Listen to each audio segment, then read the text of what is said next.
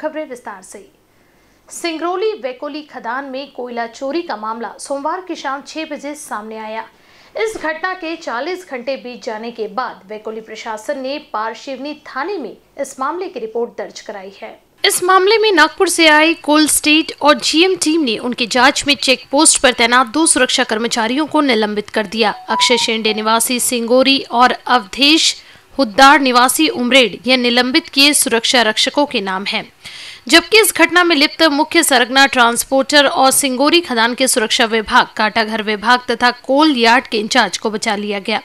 सूत्रों से मिली जानकारी के अनुसार पकड़े गए ट्रांसपोर्टर की गाड़ी का कोयला पारशिवनी के कोयला बचाए गए अधिकारियों के माध्यम से टाल व्यापारी को देना तय हुआ था। इस आधार पर ट्रांसपोर्टर को कोयला दिया गया और इन्हीं की ढिलाई पर ट्रांसपोर्टर का ट्रक चेक पोस्ट से बाहर निकलवाया गया।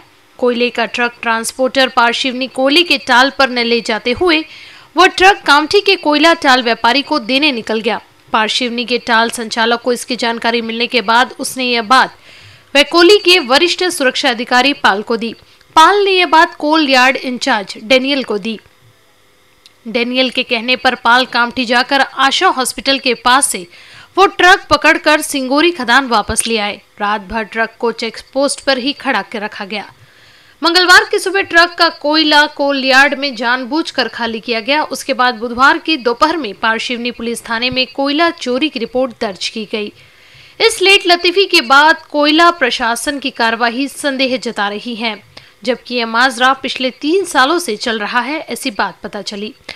बताया ये भी जा रहा है कि टैग लगे गाड़ी के पीछे बिना टैग लगा दूसरा ट्रक उसके पीछे अंदर भेजा जाता है और इसी तरह उसे बाहर भी निकाला जाता है।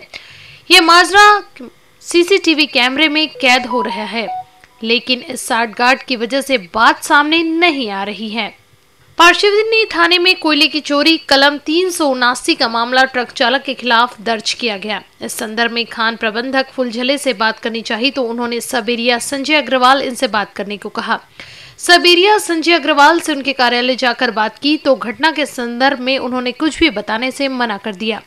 अधिकृत जानकारी नागपुर कार्यालय में बैठे पीआरओ से लेने को कहा। पारशिवनी तहसील के सिंगोरी खदान से कैमरामैन आशीष राउत के साथ अरुण महाजन की रिपोर्ट।